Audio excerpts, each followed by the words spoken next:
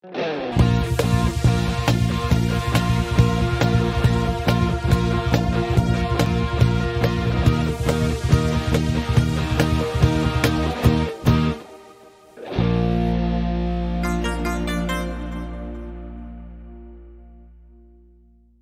espacio eh, de diálogo, de análisis, de referencia en lo político, mucho más por estos días de intensa campaña, porque ya se acerca la hora definitiva, la hora cero, y pues naturalmente todas las campañas y todas las personas a las que les gusta y sienten la política, pues vienen trabajando de manera eh, fuerte y decidida, eh, tratando obviamente de buscar el favor del electorado para lograr llegar a las posiciones con sus o con su candidato. Nosotros estamos hoy con el doctor Ángelo Quintero, eh, exsecretario de Agricultura durante varios años y en varias administraciones, y un hombre que hoy está peleando codo a codo con los eh, candidatos a la gobernación de Caldas para alcanzar ese favor, ese mayor apoyo eh, político de los caldenses en aras de eh, seguir gobernando o mantener la gobernabilidad desde el Palacio Amarillo. Me complace saludarlo, doctor Ángelo, lo veo muy activo en estos días y lo veo también eh, muy ajustado a esas estrategias de último momento, además porque pues eh, usted comenzó esta campaña eh, con las polémicas, con las dificultades y cosas normales que se dan dentro de la política y vemos que hoy, no sé qué tan eh, estratégico sea, me- usted, usted me, me corregirá ahora, eh, se está enviando un mensaje distinto, esos mensajes que se mandan como en, en- en la recta final, con ese mensaje de sí se puede. Esa es la primera pregunta, sin embargo lo saludo y le pregunto cómo le ha ido. Bueno,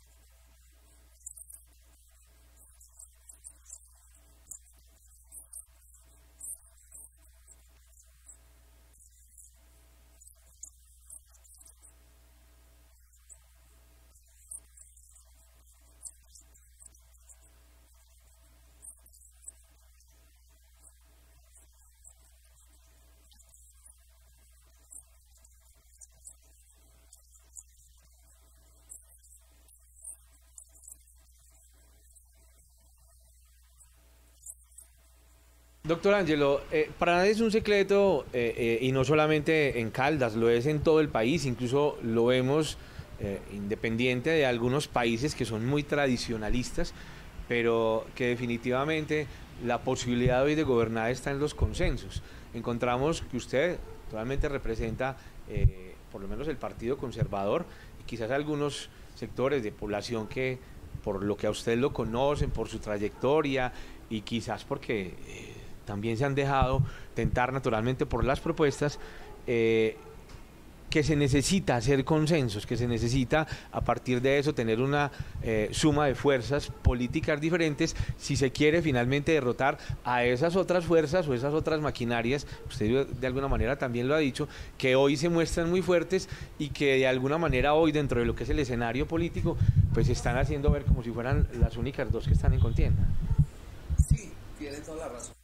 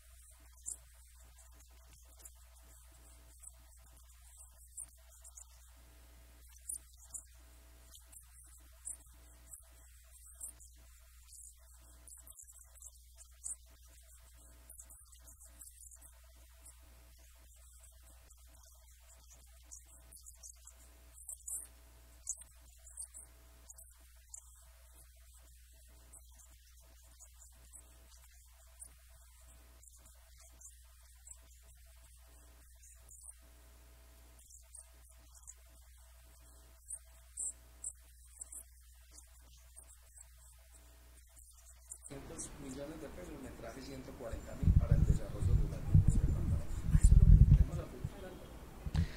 A ver, yo lo noto a ustedes sobre todo en los últimos días, no sé si eso vaya ligado obviamente a la estrategia de la que nos eh, habló al comienzo, eh, en una eh, posición un tanto fuerte, si se quiere llamar, siendo usted un hombre mesurado y calmado como lo hemos encontrado siempre, y es que noto que de alguna manera usted está hablando fuerte, está cuestionando muchas cosas que quizás no se han hecho, no sé por qué factores.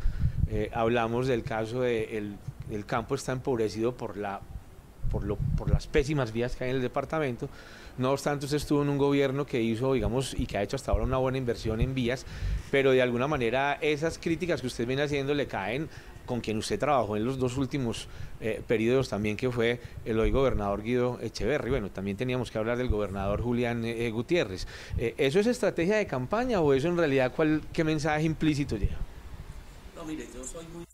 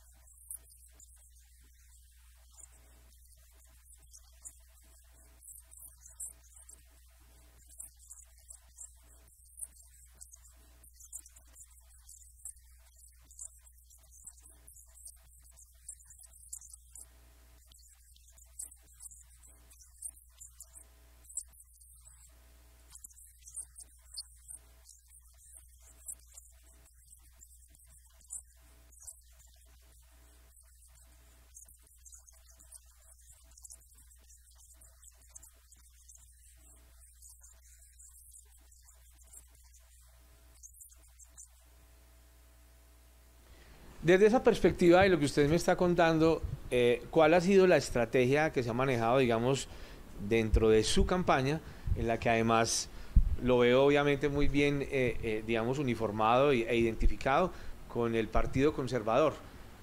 ¿Cómo va esa relación interna con el conservatismo? Uno cree también que en este tipo de actividades de búsqueda del favor electoral debe haber una unidad en este caso hablo yo, dos temas muy puntuales, usted como candidato a la gobernación y también con el candidato a la alcaldía de Manizales, que además también representa, digamos, de alguna manera la entraña del conservatismo.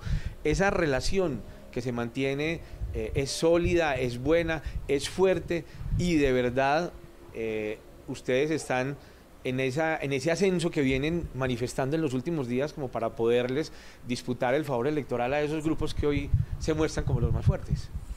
Álvaro, mm, el partido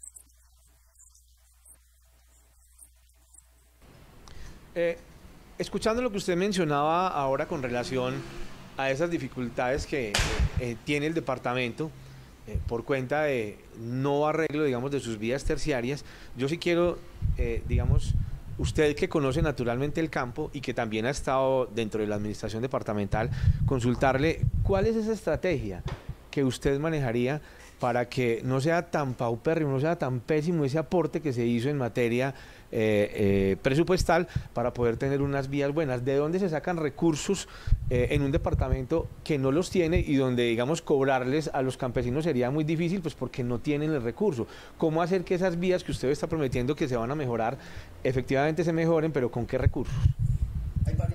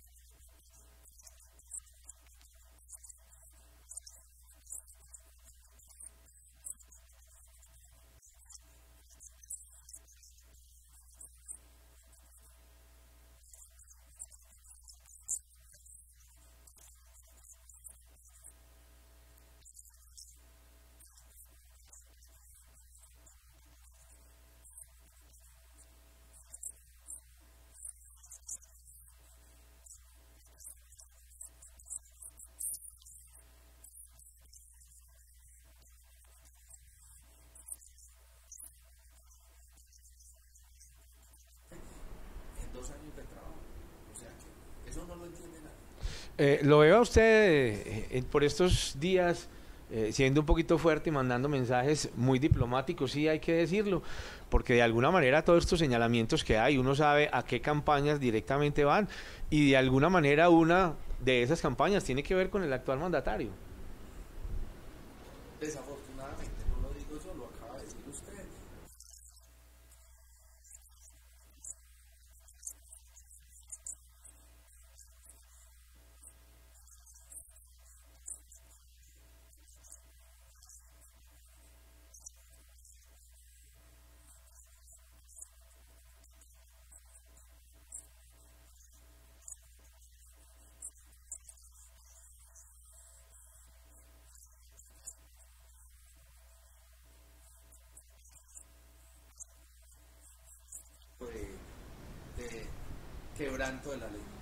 Eh, usted, eh, digamos que tiene una buena recordación por efecto del trabajo que pudo hacer desde la Secretaría de Agricultura en los momentos, y los periodos en los que estuvo, eh, digamos, inmerso en ella, manejando esa, esa política departamental.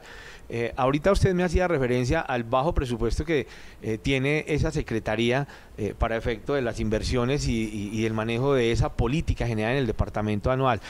Si usted llega a la gobernación, ¿de qué presupuesto estaría hablando posible darle a esa secretaría y a ese sector para poder que sea efectivo, para poder que transmita y que, eh, eh, que- lleve recursos a la gente? Yo he dicho hasta la que eso es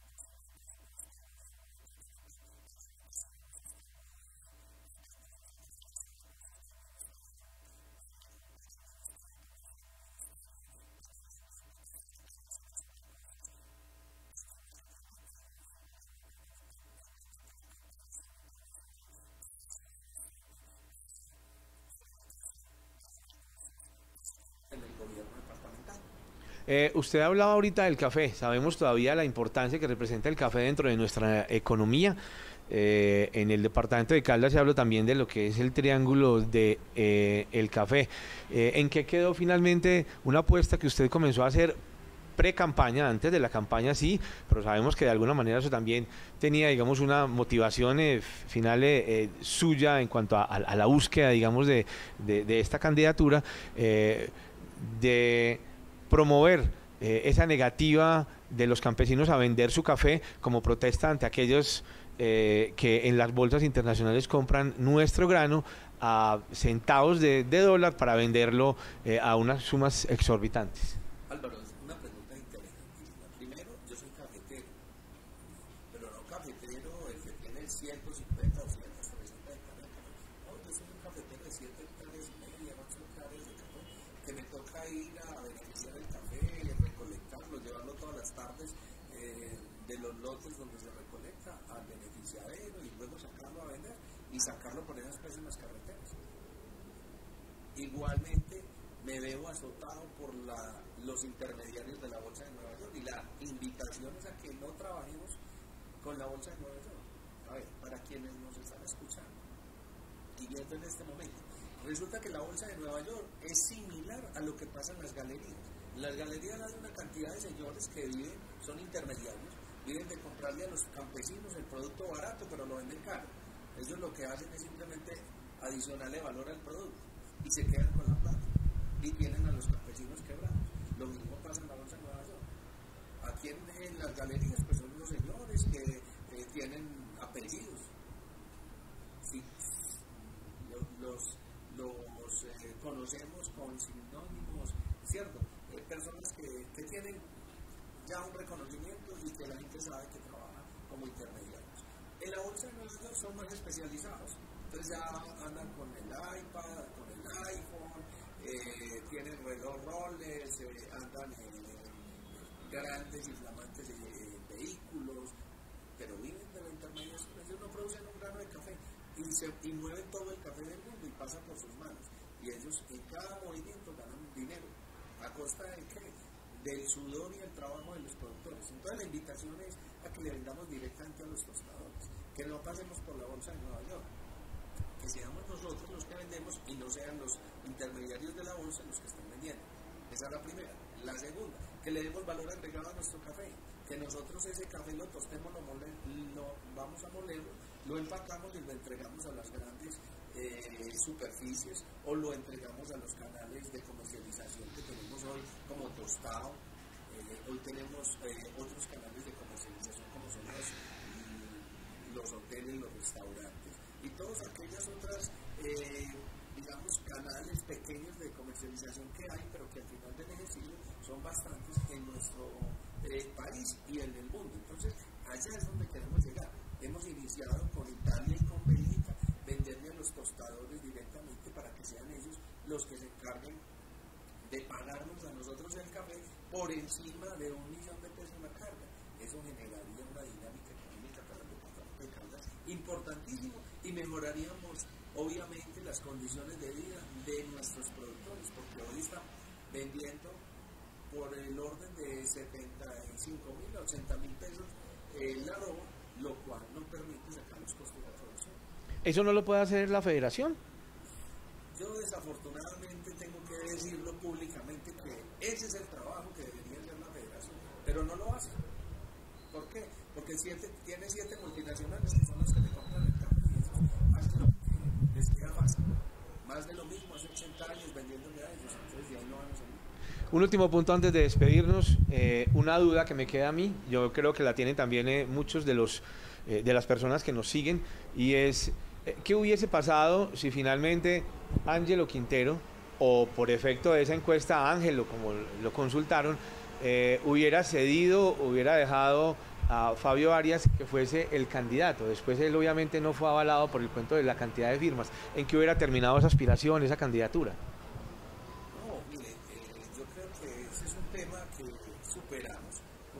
técnico que se presentó. Eh, más adelante pues nos encontramos de que Fabio no andaba buscando ser gobernador, sino ser secretario y pues se le adhiere a una campaña. Eh, o sea que pues yo estaría frustrado. Esa sería como la respuesta. Yo estaría frustrado al estar al lado de alguien que pues estaba detrás de un puesto burocrático. Entonces pues yo estaría en este momento. Pues estaría buscando trabajo, haciendo otra cosa, pero no estaría haciendo campaña porque no me vería en lo que estamos eh, esperando frente a esa iniciativa de llegar al gobierno departamental para hacer una como lo venimos planteando desde el principio, hace 14 meses, diciendo que nosotros lo que pretendemos es un desarrollo socioempresarial que nos ponga a nosotros en contexto global, que nuestros, nuestros empresarios tengan un muy buen clima de trabajo, pero que quienes vivimos acá encontremos trabajo, un departamento agradable para vivir, con proyección de expansión, de crecimiento y de desarrollo. ¿Se siente hoy arropado por esa mayoría del conservatismo? ¿Es usted el candidato de, todos los conservadores?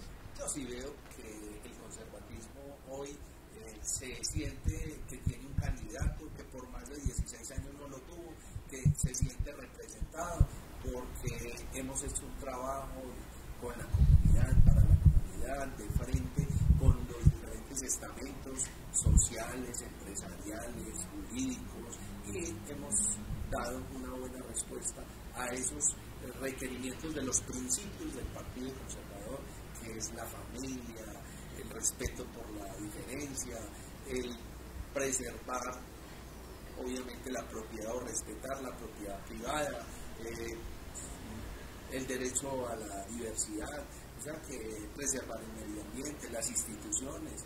Eh, yo creo que en eso, la religión, yo creo que en este eso los conservadores se sienten muy identificados y eso nos permite continuar estos días de campaña, visitando los municipios, visitando los barrios, visitando los diferentes eh, escenarios que nos han